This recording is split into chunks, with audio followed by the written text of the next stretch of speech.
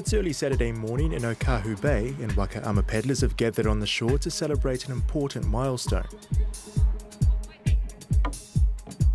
Today marks 25 years of the Portage Crossing, an event which pays homage to the Tainui canoe that journeyed to New Zealand in the 13th century. They came from Tahiti, they stayed in Aitutaki and then in Raro before they came to, to uh, Aotearoa and then did that crossing that we're doing.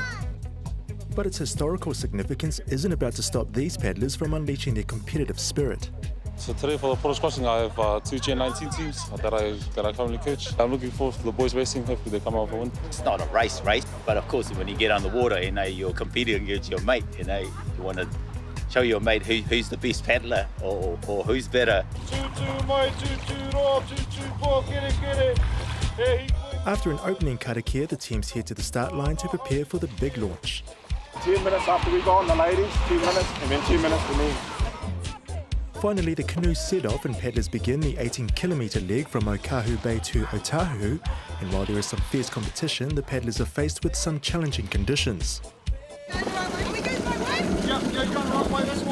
first half, it was nice, nice and flat, but uh, coming around around the corner, wind obviously picked up, and so you had a little bit of headwind. One by one, the canoes arrive at the Auckland Rowing Club and paddlers take a quick breather. The waves pretty rough. Heaps of wind, yeah.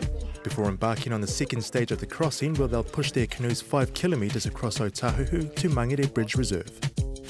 This has been the traversing point from, from the east coast to the west coast, and we just remember this, this historical event and how our tupuna used to travel from one side to another. The paddlers then relaunch their canoes for the final leg of the crossing, a 5 kilometre paddle through Mangere Inlet.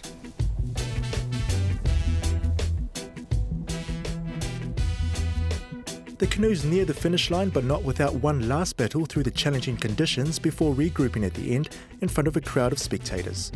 Oh, it was awesome. Really enjoyed it. I enjoyed everybody um, having a good day. We got some good results for from the, the junior boys.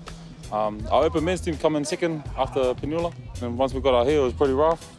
The, the boys were pretty pretty chopped up about that, but it was all good. Yeah. And while it brings an end to a milestone race, organisers say it's only just the beginning.